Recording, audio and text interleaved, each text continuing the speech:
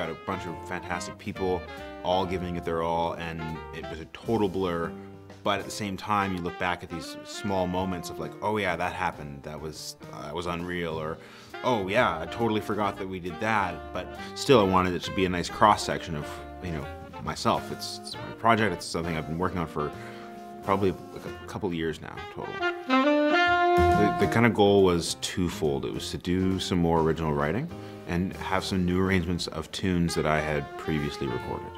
I wanted to write for small and large ensemble, uh, and I wanted the album to completely be focused around original material.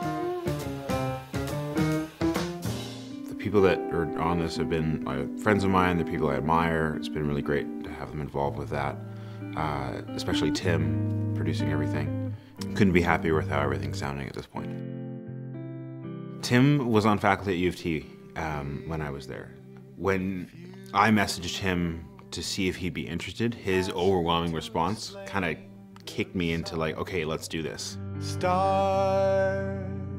Alex was in fourth year when I was in first year at U of T, so there's a bit of crossover there. We've worked together uh, with the TJO a couple times. Um, it's, it's just always blown me away by his, his command over his, his voice. To explain my love for you.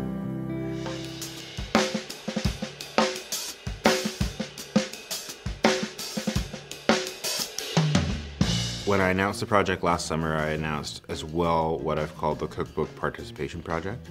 And the idea is getting people involved in the creative process, but also just a window into what happens.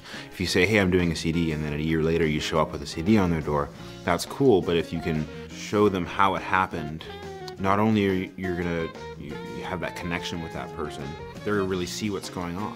That's really helped get the, um, the project going, and it wouldn't be possible without them. There was a time where I, through this project, where I started telling someone about it and I got nervous. And I got almost immediately stressed by the amount of work that I had to do and kind of knowing what I wanted it to be like, but also not. And over the past few months, it's come together better than I could have expected.